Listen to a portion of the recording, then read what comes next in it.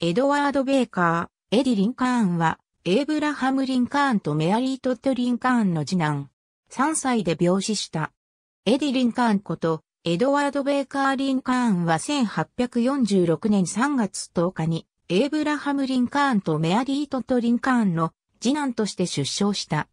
彼の名前は、エイブラハムの友人のエドワード・ディキンソン・ベーカーにちなんで名付けられた。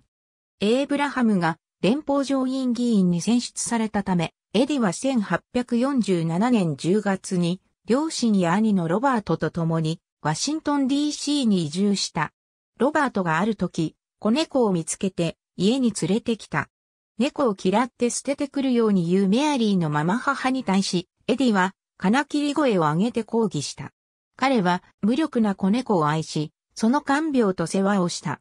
エディは4歳の誕生日を迎える前の1850年2月1日に亡くなった。国勢調査レコードリストには、死因はクローニックコンサンプションと記載されており、甲状腺髄溶岩で死亡したことが示唆されている。第一に、コンサンプションという用語は当時は多くの消耗性疾患に対して使用されていた。第2に、癌は消耗性疾患である。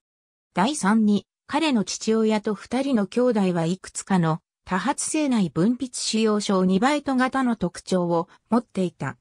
第4に、エディの厚みのある不釣り合いな下唇は、面2バイトの兆候を示している。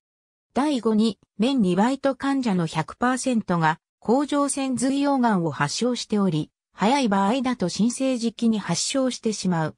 エディの遺骨は、イリノイ州、スプリングフィールドにある、ハッチンソン墓地に埋葬された。メアリーは故人を偲んで、リトルエディと題する4スタンザで構成される詩を作成し、その内容は、イリノイステートジャーナルに掲載された。